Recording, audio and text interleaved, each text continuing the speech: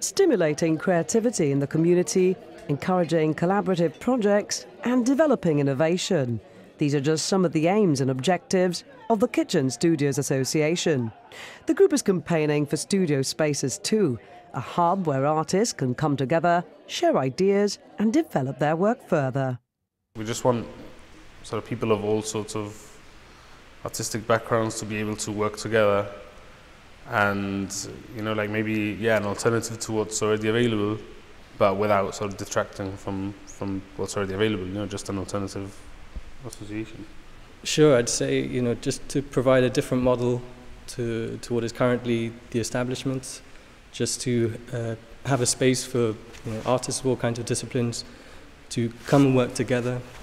So again it's taking the idea of the original kitchen that communal artistic studio space uh, and just opening up to whoever would be interested in joining this association, who uh, at the moment uh, our ultimate objective would be to have some sort of premises or just introduce a, a place where we could have, uh, be it temporary or not, studio spaces for artists who want to uh, continue to experiment with their work.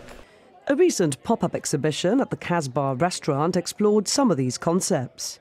The group is also keen to offer a new perspective on the city by exploring unusual and restricted areas. We had yeah, about 30 different artists coming down from sort of painters to photographers and like even projections, so filmmakers. And yeah, we had quite a quite a good crowd and a lot of positive feedback. A lot of people that were really interested in learning more about the association and sort of open to trying new things and joining in on the next events. So it was really good. We hope that it's going to be one of many. It was basically just sort of like a soft introduction to the association, uh, introduce what we're about. We handed out uh, information uh, about our aims and objectives.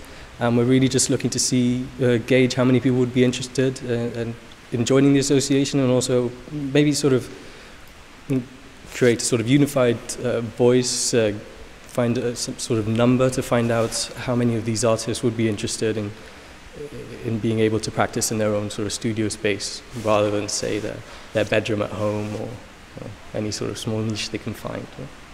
Although they have no concrete plans for specific projects at present, they promise to be active and provide an alternative platform for artists on the rock. We hope to introduce a, a lot more sort of dynamic and, and temporary sort of uh, artistic, be it uh, installations or, or or happenings, as we say as well in our in our leaflet.